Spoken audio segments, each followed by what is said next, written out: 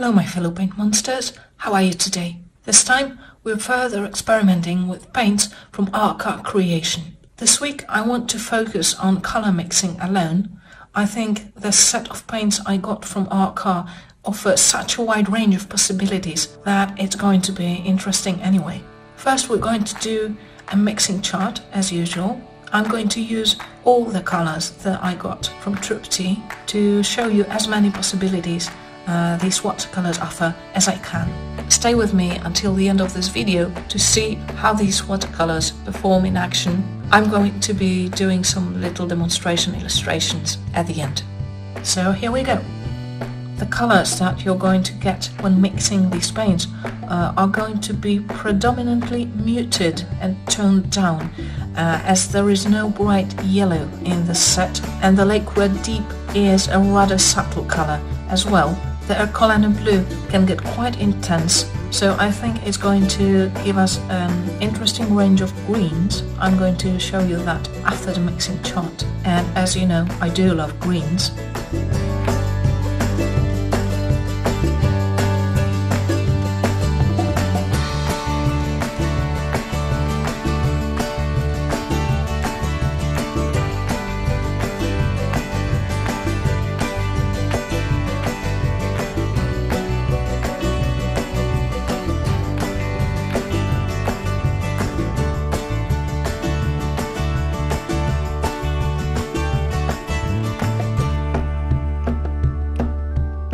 I noticed while making this chart uh, that mixing together Lake Red Deep and Caput Mortuum can create a color very close to Potter's Pink. So after I'm done with this, I want to try and make a comparison and show you different mixes of these two colors in different ratios compared to Potter's Pink.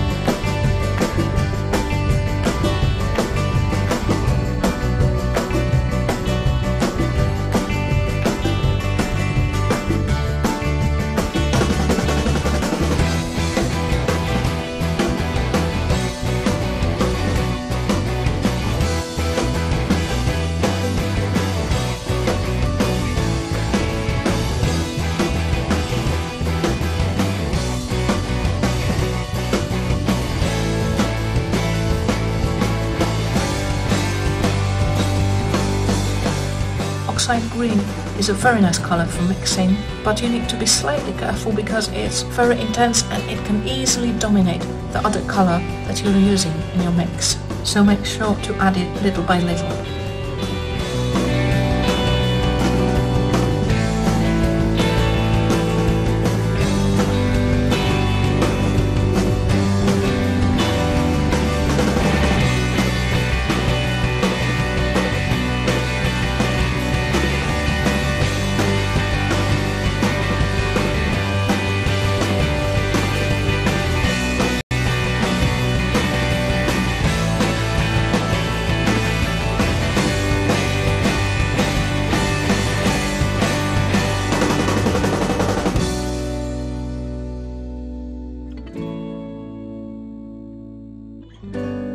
As you can see, if you adjust the ratios, the color you can get from mixing Lake Red Deep and Caput Mortuum can get incredibly close to Potter's Pink. It looks very similar, it granulates, so it's not that I recommend you not to buy Potter's Pink, because I think it's awesome and I love it and I'm using it and I'm going to use it a lot. But if you don't have it, but do have Lake Red Deep and Caput Mortuum, then just try mixing these and see what you can achieve because in a pinch I think these two can provide a very reasonable substitute.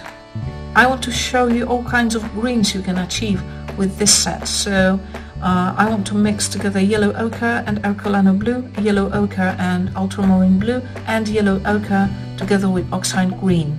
So the range uh, is quite wide and you can further widen it by adding darker shades by mixing in some Venetian Red or Mars Black or Cassel Earth possibly so you'll be able to move the dark side uh, of the green spectrum even further. I didn't do that here but I love what Oxide Green does together when mixed with Mars Black. And at the very end I wanted to show you how the primary triad of this set, uh, or the colours closest to the primary triad, namely Lake Red Deep Yellow Ochre and Ercolano Blue, mixed together. And as you can see they work very nicely together. The yellow and the red are not quite vibrant enough to give you really intense shades of orange, but the purples and violets are great and the greens are very nice too in my opinion. And at the very very end of this video, as usual, I want to show you how these colors work in action, so I'm going to do some small demonstration pictures. With the three little guys sitting around the fire, I think it was a mistake to try and use Caput Mortuum for shading, as it has too much texture for my taste. Cassel Earth is slightly smoother, I mean it's grainy but the texture is more consistent so I think it would be better to use that. It might have looked a little better then. And I really like the grace that you can achieve by mixing these paints. I'm happy with the shades I was able to achieve in the little piece with buildings. I'm quite happy with how this little fish turned out. I think Potter's Pink and Caput Mortuum and Cassel Earth work very well together and I really like the teal turquoise shades that you can get by mixing yellow ochre together with Ercolano blue. Summing up, as you already know from my review from last week if you watched it, I like these paints. I think they're high quality, they're well pigmented, they re-wet well and they're easy to handle. If you want to mix really vibrant, intense colors then you're probably going to need a brighter yellow. I think Lake Red Deep is probably close enough to magenta to create vibrant oranges with lemon yellow or something similar. But I haven't tried that and this is something you need to test yourself. All in all, I like these paints and I think they're good value for money. There's nothing I did not like about them. So if you like what you're seeing, go get them. That's all I've got for you today. Thank you for watching and I hope to see you next week. There's going to be another review of watercolors by another maker if you want to have a look at a sneak peek and perhaps a chance to guess who this maker might be, make sure to visit Hungry for Paint on Instagram on Wednesday. Also, I've just come back from my holidays, so I'm a little bit behind, but I'm working hard to catch up and I'm going to publish the delayed reviews on Hungry for Paint blog.